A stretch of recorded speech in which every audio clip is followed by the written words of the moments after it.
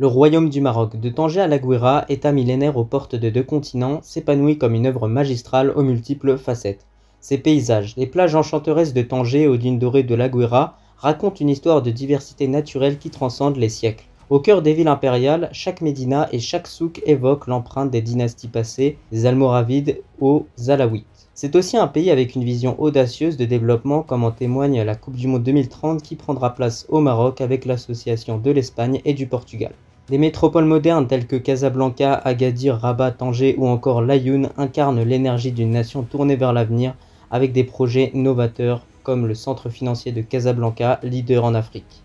Sous la grande initiative de Sa Majesté le roi Mohamed VI, que Dieu l'assiste, le Maroc a réussi à construire une économie diversifiée et solide, dépourvue de gaz et de pétrole. Outre cela, sur le plan diplomatique, le royaume a une influence mondiale guidée par des figures telles que Nasser Bourita et Omar Hilal le Maroc a réussi à établir des partenariats stratégiques historiques tout en défendant fermement ses intérêts, notamment en ce qui concerne le Sahara marocain qui restera marocain. Dans ce voyage à travers la richesse culturelle, mentionnons la gastronomie riche, le zélige de Fès et bien d'autres trésors qui font du Maroc un des pays les plus attractifs touristiquement, notamment avec Marrakech. Enfin, le Maroc incarne avant tout un peuple uni, bienveillant et fier. Ce peuple unique sera le 12e homme de Regragui lors de la Cannes 2023, le football est une véritable passion nationale au Maroc, les Lions de l'Atlas portent les rêves du royaume sur la scène africaine et internationale. Après un parcours historique inoubliable lors de la Coupe du Monde 2022, le Maroc peut-il gagner la Cannes 2023 en Côte d'Ivoire? Si tu travailles, si tu te bats, si tu crois, eh ben tu peux. Salam à tous et je suis très heureux de vous retrouver pour une nouvelle vidéo. Aujourd'hui, on va s'intéresser au Maroc, demi-finaliste de la dernière Coupe du Monde. Regragui et ses hommes ont écrit l'histoire de tout un continent et à l'approche de cette Cannes 2023, après des années d'échecs en Coupe d'Afrique, les Lions d'Atlas ont pour ambition de remplir leur armoire à trophées. Juste avant qu'on commence avec cet épisode spécial de l'avant-Cannes, je t'invite à t'abonner, liker et commenter cette vidéo et en tout cas un très grand merci à l'ensemble des personnes qui feront ça. On entame cet épisode de l'avant avec l'historique du Maroc au niveau des Coupes d'Afrique et au cours de son histoire, le Maroc a remporté une seule canne, c'était en 1976 donc ça commence un petit peu à remonter et sinon en 2004, les Marocains ont réussi à arracher un statut de finaliste. Cependant, depuis quelques années, alors que les effectifs du Maroc sont de plus en plus intéressants, les parcours en Coupe d'Afrique sont décevants. Alors on a une élimination dès les quarts de finale lors de la Cannes 2017, une élimination dès les huitièmes de finale face au Bénin en 2019 et enfin une dernière élimination au Cameroun face à l'Égypte en 2022. Ça reste vraiment trois Coupes d'Afrique qui ont été très décevantes étant donné que le Maroc avait vraiment de très bons effectifs et aurait pu clairement prétendre à un statut de demi-finaliste. C'est pour cette raison que nos Lions d'Atlas n'ont pas le choix. Il faut arracher au minimum un statut de demi-finaliste, être dans le dernier carré de cette canne en Côte d'Ivoire parce que les derniers parcours en Coupe d'Afrique ont vraiment été décevants. On a toujours été une équipe vraiment moyenne euh, sur le continent africain et surtout lorsqu'on voit la qualité de notre effectif avec euh, qui regorge de joueurs évoluant au plus haut niveau, eh ben on est clairement obligé d'aller au moins en demi-finale. Et n'oubliez pas ça, si le Maroc gagne cette canne 2023, le Maroc écrira sa propre histoire. On passe à la qualification à cette CAN 2023 pour le Maroc et tout d'abord concernant cette campagne de qualification, elle a été perturbée notamment avec la disqualification du Zimbabwe. Le Maroc s'est retrouvé dans un groupe de trois équipes composées du Libéria, de l'Afrique du Sud et du Maroc, ce qui n'a pas empêché les Lions de l'Atlas de finir en tête de ce groupe-là avec trois victoires et une défaite. Le Maroc a fini avec 9 points au total, suivi de l'Afrique du Sud avec 7 points et euh, du Liberia avec 0 points. Dans l'ensemble, sans forcément réaliser des performances exceptionnelles, les Lions d'Atlas ont su faire le taf et obtenir leur ticket pour la Côte d'Ivoire. Après, il faut savoir qu'une partie des matchs que le Maroc a joué s'est effectuée euh, sous Vaïd et au final, euh, le Maroc avait gagné justement ces deux matchs-là à cette époque-là. plusieurs prestations restent mémorables pour les Lions d'Atlas, comme la belle victoire sur le score de 2 buts 1 au stade Moulay Abdallah de Rabat face à l'Afrique du Sud. Le Maroc était mené dans ce match-là, mais a réussi à revenir et à mener 2 buts à 1. Ensuite, on a également une très belle victoire, cette fois-ci sur le score de 3 à 0, victoire écrasante face au Liberia. Ce match s'est déroulé du côté de Agadir et cette fois-ci c'était sous Regragui. Néanmoins, il y a un match à oublier, cette défaite face à l'Afrique du Sud où les coéquipiers de Hakim Ziyech avaient quasiment joué avec une équipe B. C'était un match où le Maroc était vraiment méconnaissable. Cependant, plusieurs lions de l'Atlas ont brillé au cours de cette campagne de qualification comme En Nisri et El Kabi. Désormais, on va s'intéresser à l'effectif et à la composition de cette équipe marocaine. Et tout d'abord, un petit mot sur la dernière liste de Walid Regragui. Et je tenais à dire que j'ai vraiment été épaté de voir à quel point il y a plein de joueurs de qualité dans cet effectif-là. Et selon moi, je vous le dis, c'est clair, le Maroc possède le meilleur effectif d'Afrique.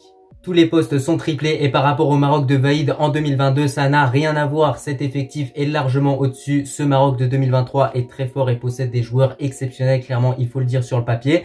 Et euh, d'ailleurs, hein, concernant ce 11-là, j'ai dû vraiment euh, faire beaucoup euh, d'analyses, j'ai dû beaucoup réfléchir, me gratter la tête pour le constituer parce que franchement, il y avait vraiment des choix forts à prendre et des grosses décisions à prendre. Premièrement, au poste de gardien, j'ai aligné Yassine Bounou, choix plus que cohérent et rationnel. Le portier marocain enchaîne les bonnes performances à Al Hilal dans le championnat saoudien, mais peine à être rassurant en équipe nationale au vu de ses erreurs de relance, balle au pied, également avec la main.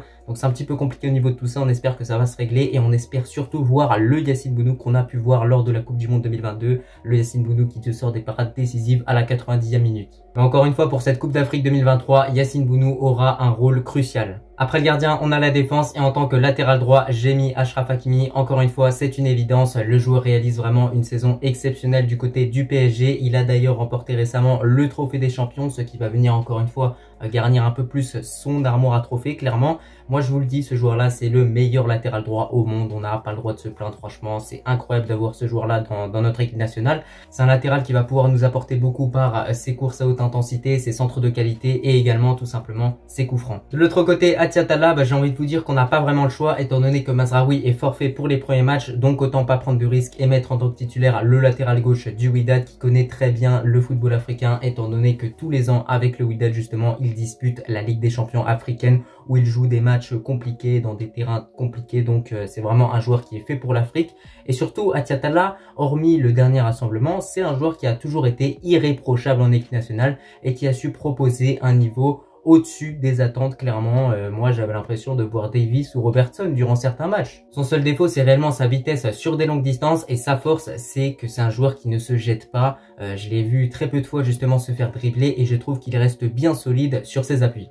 Donc voilà en tout cas concernant les latéraux, la paire Hakimi Atiatala fera largement le taf pour cette canne 2023. Pour la charnière centrale, pas de suspense. En premier, Aguerd, bah écoutez, c'est un des meilleurs joueurs de notre équipe nationale. Je le dis clairement, c'est un joueur qui m'a peu déçu. C'est un défenseur complet du côté de West Ham. Il a la vitesse, le gabarit, également la qualité de passe et la détermination. Donc tout ce qu'il faut pour être un bon défenseur durant une Coupe d'Afrique. Pour accompagner Aguerd, bien évidemment, le grand, le seul et l'unique euh, capitaine Saïs, bah écoutez, franchement, ça fait des années et des années que ce joueur-là euh, continue d'être là en équipe nationale. Il a l'expérience, il a tout vécu, les pires moments comme les meilleurs moments. Euh, il a vécu cette Cannes 2019 avec cette défaite face au Bénin comme le parcours épique en Coupe du Monde. Donc voilà, c'est vraiment un joueur qui a vécu les deux extrêmes et qui a cette certaine expérience, qui a le mental renforcé clairement.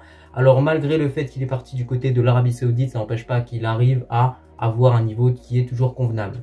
Une chose est sûre, durant cette Coupe d'Afrique 2023, cette charnière centrale à guerre de Saïs aura encore une fois son rôle à jouer dans notre équipe nationale comme elle l'a joué lors de la Coupe du Monde 2022. On sait que la défense était une de nos forces. On espère que encore une fois pour cette Coupe d'Afrique 2023, ça sera une de nos forces parce que durant ces derniers mois, il y a eu quand même quelques petites inquiétudes. On passe au milieu et comme on est dans un 4-3-3, on va avoir un trio du milieu. En tant que milieu défensif, j'aligne Sofiane Amrabat, bah c'est plus que logique. On le sait, si le Maroc a autant pris l'eau durant ces derniers mois, c'est car Sofiane Amrabat était absent. Là maintenant qu'on sait qu'il est de retour, on est un petit peu soulagé, on peut le dire clairement. Il aura un rôle crucial, on espère voir euh, le Amrabat de la Coupe du Monde 2022. Il aura ce rôle de rideau juste euh, devant notre charnière centrale. On sait qu'il va nous permettre de récupérer beaucoup de ballons, également de bien les bonifier derrière. Donc euh, voilà, en tout cas, du côté de Manchester United, c'est un joueur qui a beaucoup de temps de jeu, donc il va également arriver en forme avec un certain rythme. Donc tout ça, c'est positif et c'est pour ça qu'on a de quoi être euh, optimiste au niveau de notre milieu défensif. Et aussi concernant Amrabat, si Amrabat est en forme, tout le Maroc sera en forme, tout simplement parce qu'il est le cœur de notre équipe nationale. Juste à côté d'Amrabat, on va avoir Azedine Ounahi. Il a été exceptionnel durant la dernière Coupe du Monde. On lui souhaite, Inch'Allah, de réaliser une très grande Coupe d'Afrique, malgré le fait que ses dernières performances ont été quand même en dessous des attentes, on va pas se mentir. Mais je pense qu'avec de la confiance, ce joueur-là pourra retrouver son meilleur niveau, sachant que une de ses qualités, un des points positifs avec ce joueur-là, c'est euh, sa bonne relation avec Hakim Ziyech et Ashraf Hakimi, on voit que ces trois joueurs-là, justement, combinent très très bien dans les petits espaces. Et parfois, en, quelques passes, on arrive à se créer des occasions, justement, bah, uniquement grâce à ces trois joueurs-là. D'ailleurs, en ce moment, Unahi intéresse beaucoup de clubs et pourrait totalement quitter l'OM. N'hésitez pas à me dire un petit peu ce que vous en pensez en commentaire. Moi, je pense que ça pourrait être positif uniquement s'il arrive à trouver un club qui est supérieur à l'OM. Parce que voilà, faut pas oublier qu'il est encore jeune. J'ai vu qu'il y avait certains clubs saoudiens qui étaient intéressés par lui.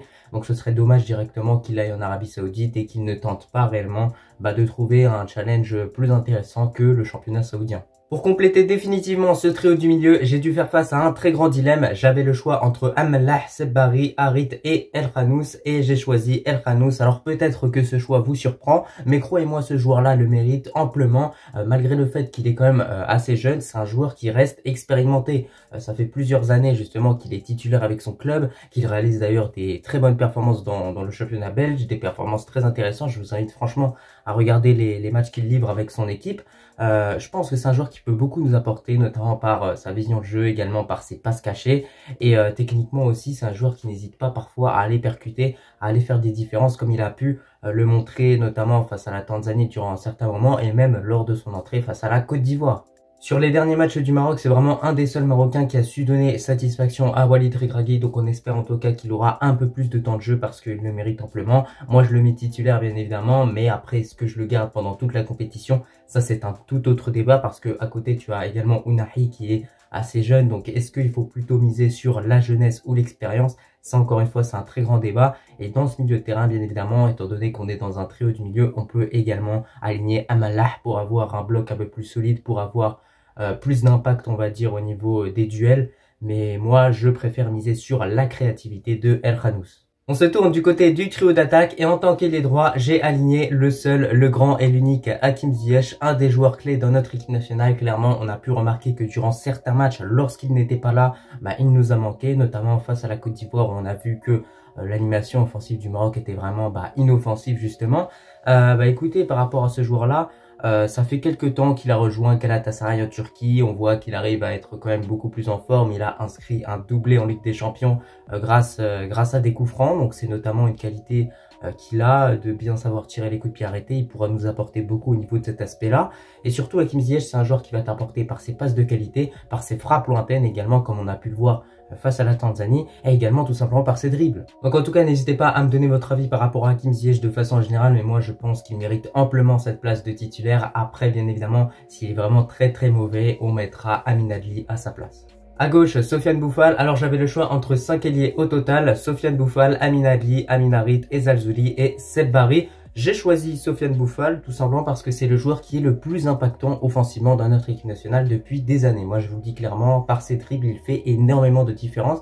Et surtout, lorsqu'on réfléchit, euh, bah, lors de la dernière Coupe d'Afrique euh, sous Vaïd, bah, Bouffal, c'était le meilleur buteur du Maroc. Donc ça, ça nous prouve une chose, c'est que ce joueur-là, euh, c'est être bon en dribble, mais c'est également être efficace devant les buts, malgré le fait qu'il a inscrit un but aussi euh, sur penalty face à l'Égypte, ça n'empêche pas que c'est quand même un but dans tous les cas. Fallait le mettre ce penalty. Voilà, donc c'est quand même quelque chose à prendre en compte tout ça.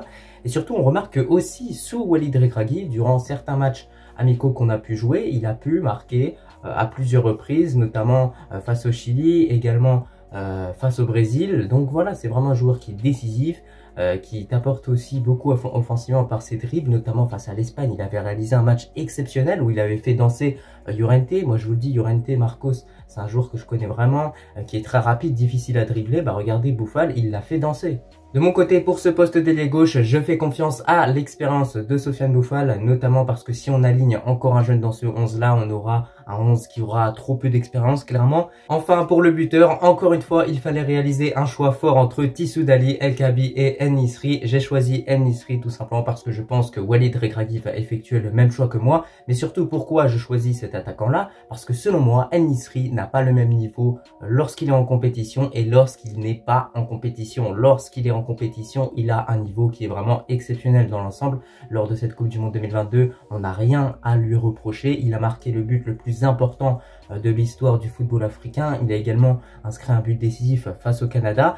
Et on remarque aussi que lors de la CAN 2021, il a marqué un but très important face au Malawi. Je ne sais pas s'il a marqué un autre but, mais en tout cas, euh, à chaque fois, on remarque que lorsque le Maroc a du mal, c'est souvent lui qui vient un petit peu débloquer les situations. Ces derniers mois, Nisri a beaucoup été critiqué, notamment parce que ça fait des mois et des mois que le joueur se montre invisible offensivement. On a vraiment du mal à le trouver. Après, il ne faut pas oublier que ce sont uniquement les matchs amicaux, justement, ils sont faits pour voir euh, bah, ce genre de problème. On espère en tout cas que durant euh, les prochains matchs, ce problème va être réglé parce que sinon ça va vraiment être problématique. Mais euh, si ce problème ne se règle pas, on a quand même d'autres options. On a Ayoub El Kabi qui a clairement toujours confirmé qu'il méritait sa place en équipe nationale. Franchement, ce jour-là, il est exceptionnel. C'est un travailleur.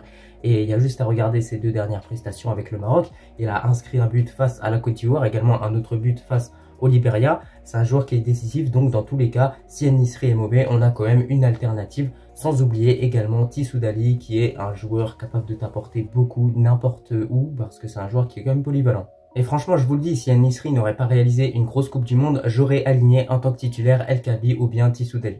Bon bah écoutez, c'était un petit peu tout pour cette composition. On remarque qu'on a vraiment un 11 très complet où tous les postes sont doublés, voire triplés à certains postes. Alors la force de cette équipe réside dans sa défense, malgré le fait que certains joueurs ont vu leur niveau régresser depuis la dernière Coupe du Monde. Ensuite, on a un milieu de terrain alliant récupération et créativité. Et pour finir, un trio d'attaque avec de la percussion et également une bonne finition. Donc voilà, il y a euh, tout pour euh, tout simplement tout casser durant euh, cette canne. Clairement, il faut le dire. Et surtout, ce qui sera très important, c'est le réalisme offensivement. Pour cette Cannes 2023, le Maroc est tombé dans un groupe qui paraît facile en apparence, mais qui est réellement compliqué. Ce groupe est composé de la RDC, de la Zambie et de la Tanzanie. Alors premièrement, concernant le Congo, bah, c'est une équipe qu'on a affrontée il y a quelques années, notamment pour se qualifier à cette euh, Coupe du Monde 2022. Donc croyez-moi, les Congolais vont vraiment être revanchards, sachant qu'entre-temps, leur équipe a beaucoup évolué. Il y a certains joueurs qui ont vraiment beaucoup progressé, comme par exemple Mbemba, euh, le défenseur central. Ensuite, tu as la Zambie, une équipe à ne pas sous-estimer, qui a battu sur le score de 3 à 0. Et oui, 3-0 face à la Côte d'Ivoire.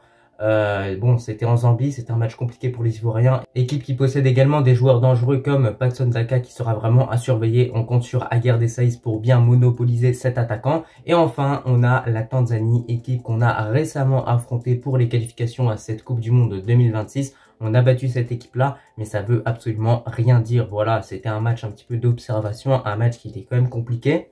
Les Tanzaniens restent redoutables avec notamment Samata qui sera un joueur à suivre. Malgré le fait que ce groupe est difficile, après réflexion, je vois le Maroc finir en tête de celui-ci, même si ça va être quand même compliqué. Il va falloir prendre les matchs un par un et ne sous-estimer aucun adversaire. Clairement, c'est vraiment ça la clé pour finir en tête de ce groupe-là. Et euh, moi, je vous le dis, on a les capacités largement pour finir en tête de ce groupe-là. Sur le papier, on a le meilleur effectif, on a vraiment les meilleurs joueurs. Donc logiquement, tu es censé tout simplement finir en tête de ce groupe-là avec 9 points au total. Franchement, faut être honnête. Le match le plus important de cette phase de poule, ce sera ce Maroc-Congo. Euh, moi, je vous le dis, c'est un match qu'il faudra gagner pour se qualifier pour les huitièmes de finale, à condition également d'avoir remporté le premier match face à la Tanzanie, qui restera quand même le match le plus important de cette phase de groupe, tout simplement parce que si tu t'imposes dès le premier match, bah directement tu gagnes en confiance. En revanche, si tu perds ce premier match, tu peux être vraiment dans le mal et la confiance va beaucoup baisser. Donc c'est pour ça que ce match face à la Tanzanie, ce sera un match qu'il faudra remporter d'office pour ensuite gagner contre le Congo, arracher la qualification et pour le troisième match, faire un petit peu euh, tourner l'effectif et faire jouer des joueurs qui n'ont pas eu de temps de jeu. Enfin, pour finir avec cette vidéo, mon pronostic personnel sur le futur parcours des Lions d'Atlas lors de la Cannes 2023. Et bah déjà, au niveau de la phase de groupe, comme je l'ai dit, je vois euh, bah, les hommes de Regragui finir en tête de leur groupe, notamment parce que durant ces dernières années, on a toujours fini en tête, euh, notamment en 2019 et également en 2022. Ensuite, je vois les Marocains passer les huitièmes de finale, malgré le fait que les phases finales à élimination directe a toujours été un traumatisme pour nous en Coupe d'Afrique, il faut le dire, il faut l'assumer. Euh, sachant que si le Maroc finit en tête de son groupe, le Maroc pourrait faire face à la Tunisie, l'Afrique du Sud, la Namibie ou bien le Mali. Au final, lorsqu'on analyse un petit peu toutes ces équipes-là, bah on a largement le niveau pour battre ces équipes. Dans la continuité pour les quarts de finale, je sais pas du tout avec qui le Maroc peut tomber. Pour ceux qui savent, n'hésitez pas à le dire tout simplement en commentaire. Euh, ensuite, je vois les Lions d'Atlas filer en demi-finale et avec un élan euh, de confiance également, un groupe rempli de cohésion, je vois les Lions d'Atlas aller jusqu'en finale et remporter cette finale et décrocher le trophée et le ramener à la maison. En tout cas, Inch'Allah, c'est tout ce qu'on souhaite. Mais lorsqu'on voit notre effectif, la qualité de nos joueurs, on a absolument tout et on n'a aucune excuse euh, pour ne pas remporter cette Coupe d'Afrique, sachant que ça fait très longtemps qu'on n'a pas livré un bon parcours. Donc le minimum sera les demi-finales, le dernier carré. Euh, si on n'atteint pas cet objectif-là, en revanche, c'est quand même inquiétant. Après ça, bien évidemment, c'est uniquement mon pronostic, mais il ne faut pas oublier qu'on n'a jamais eu de la réussite lors des Coupes d'Afrique qui se déroulaient en Afrique subsaharienne. Mais en tout cas, on espère qu'avec ce Maroc de Regragui, ça pourra fonctionner. Et d'ailleurs, euh, concernant ce Maroc de Regragui, le bilan face aux équipes africaines n'est pas parfait, clairement, il faut le dire. Donc on a un match nul face au Cap Vert, une défaite de Buzan face à l'Afrique du Sud, victoire 1-0 face au Burkina Faso, match nul face à la Côte d'Ivoire et victoire sur le score de 3 à 0 face au Liberia. Au final, ce que j'ai remarqué durant l'ensemble de ces matchs que j'ai pu regarder, c'est qu'à chaque fois que le Maroc mettait de l'envie et de l'impact dans ses prestations, et eh bah à chaque fois on arrivait à ressortir avec un score très positif. Donc croyez-moi, tout se joue dans la tête, tout se joue dans l'envie et la détermination et la fin de gagner. Et euh, si les joueurs donnent tout sur le terrain, bah, logiquement, ils peuvent largement l'emporter. En mettant beaucoup d'impact, beaucoup de détermination ainsi que de la discipline, le Maroc est capable de battre n'importe quelle équipe, ça je vous le dis c'est clair. Euh, il faut vraiment qu'on retrouve l'ADN qu'on a eu justement lors de cette Coupe du Monde 2022 avec un mental très solide, notamment lorsqu'on a pu tenir en échec l'Espagne durant 120 minutes. En tout cas, bien évidemment, je vous invite à donner votre pronostic par rapport au futur parcours du Maroc lors de la Cannes 2023. Moi, je vous l'ai dit, je vois nos joueurs remporter le trophée ou au moins figurer dans le dernier carré. C'est clairement ça l'objectif. Le Maroc a largement les capacités de figurer dans euh, ce dernier carré, d'arracher au moins un statut de demi-finaliste, une troisième place, pourquoi pas aussi. Euh, et comme les joueurs l'ont dit, hein, Aminarit, Aguerd et également Sofiane Bouffal, le but principal c'est de ramener la coupe à la maison. Et au vu de son effectif de classe mondiale où quasiment l'ensemble des joueurs sont en forme en club, le Maroc a largement les capacités pour se frayer un chemin jusqu'au dernier carré. Donc désormais, on va supporter nos lions jusqu'au bout, Inch'Allah, en espérant vivre des moments inoubliables, bien évidemment, comme on a pu vivre lors de la Coupe du Monde 2022. En tout cas, cette Cannes 2023 sera à suivre sur la chaîne, donc je compte sur vous tous pour être présents et me soutenir. Et surtout, avant le début de cette compétition, on dit quoi? Dima Marlev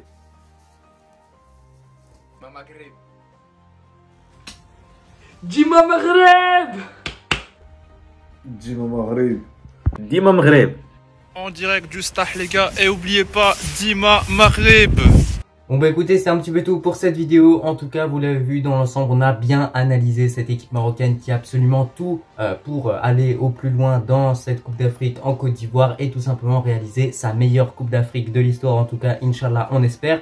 Euh, en tout cas voilà cette vidéo c'était aussi une vidéo un petit peu émotionnelle pour moi parce que voilà parler de mon pays comme ça avec la citation avec tout ce que j'ai pu faire durant l'ensemble de, de la vidéo c'était vraiment un réel plaisir et c'est pour ce genre de vidéo franchement qu'on est sur YouTube clairement. Merci à tous ceux qui envoient de la force, qui partagent, euh, ça fait plaisir et, en tout cas voilà on va continuer bien évidemment euh, sans, sans relâche. En tout cas j'espère franchement que cette vidéo t'a plu et moi je te remercie si tu l'as regardé dans son entièreté et je te dis à la prochaine.